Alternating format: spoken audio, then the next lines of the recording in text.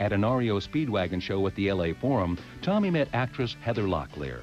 At the time, Heather was enjoying small screen popularity as the co-star of two hit television shows, the nighttime soap Dynasty and the cop drama T.J. Hooker.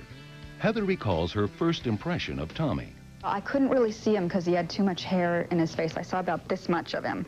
And he was sitting down, but I went, ooh, that's kind of interesting. I haven't been with one of those before. When I went out with him, um, he was pretty unusual. He, he put a cigarette out on his tongue, and that's what grabbed me. I went, I like this guy.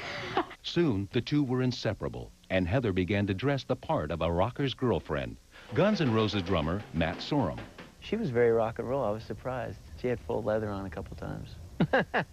on Christmas Eve 1985, during a limo ride on LA's Ventura Freeway, 23-year-old Tommy presented 24-year-old Heather with a 2.3 carat diamond ring.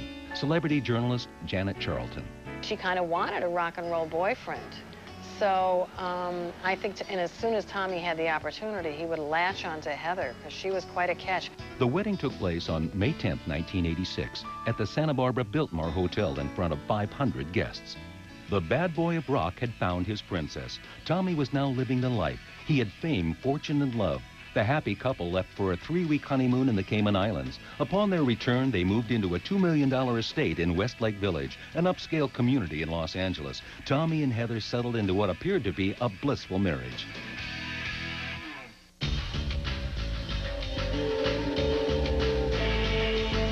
It was no big thing.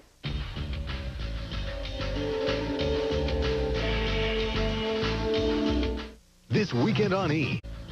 TV darling Heather Locklear. The union seemed like a fairy tale. It turned out to be a nightmare. They used to have like fights, very loud arguments and fights publicly sometimes.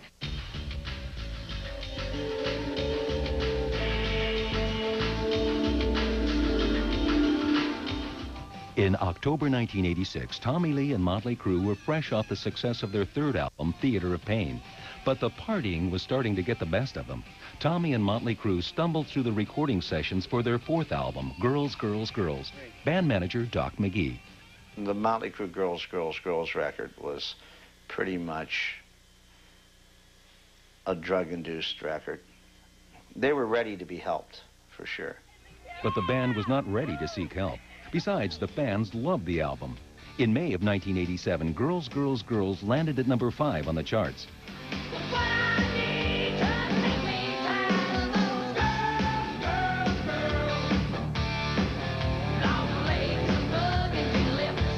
In June, Motley Crue hit the road, and Tommy Lee was in the spotlight.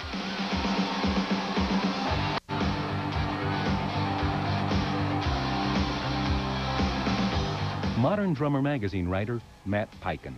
I mean, it was this huge rack that moved out. It was this cage-like thing. I don't know how Tommy was strapped in. I don't know what they did. I don't know how he played. But it came off huge. The tour, however, was short-lived. On December 22, 1987, Nikki Sixx collapsed in the shower at the Hollywood Plaza Hotel. Magazine writer Evan Wright. He'd OD'd on heroin and been declared dead. Um, and I think he said that, that he was driving up Sunset Boulevard on his motorcycle. Uh, he just copped a bunch of heroin. Nikki survived, but the incident scared the band members straight. Nikki and and Tommy and everybody decided that they would, you know, uh, walk the walk. So everybody went to rehab. It seemed like the heavy partying lifestyle was over for Motley Crue, at least for a while. They pledged sobriety before recording their fifth album, Dr. Feelgood, which was released in September 1989. Within a month, Feelgood reached number one on the charts. Tommy was at his peak on the album.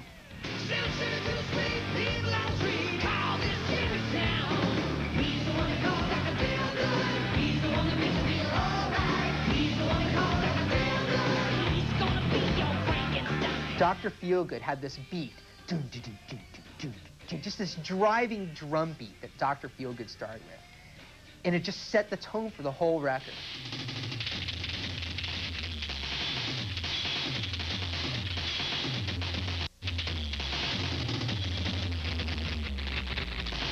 But as Tommy's career soared, his marriage to Heather Locklear suffered. Tommy's sister, Athena. I think their marriage was affected a lot by the, the fact that both of them were in different locations a lot. They spent a lot of time apart.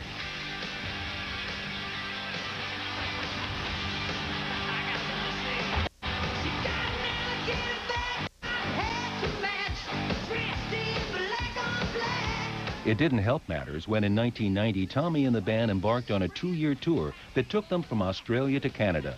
Their attempt at sobriety fell by the wayside, and the band was living wild once again.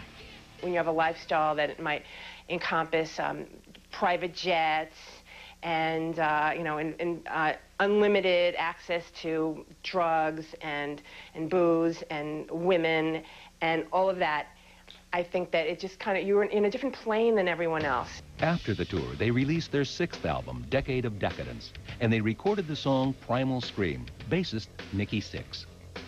It's basically about the release of pinned up, you know, energy and pinned up, you know, anger.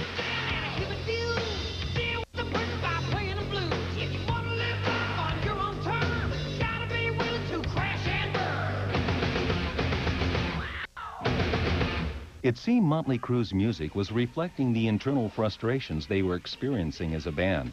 It was around this time that vocalist Vince Neil seemed to lose his spunk. He was no longer dedicated to the music. The remaining members of the band were exasperated by Neil's lack of enthusiasm and fired the longtime singer. Neil was replaced by vocalist John Corabi. Rock photographer Neil Zlozower. I think getting rid of Vince in the band was a mistake for them, a career mistake. The road tour claimed another victim. Tommy's marriage to Heather, celebrity journalist Janet Charlton. He'd be in strip clubs, partying all night long with mud wrestlers, groupies, and of course, Heather heard the gossip. It would drift back to her. In August 1993, after eight years of marriage, Heather Locklear divorced Tommy Lee. Scorpions drummer James Kottak. I think that was a major, major disappointment to him. And uh, that was may have been a little bit of a turning point when he um, split from Heather, you know, and, and he he doesn't take he doesn't take failure very well. Tommy retreated to his beach house in Malibu. To cope with the breakup, Lee hosted enormous parties. Guns N' Roses drummer Matt Sorum.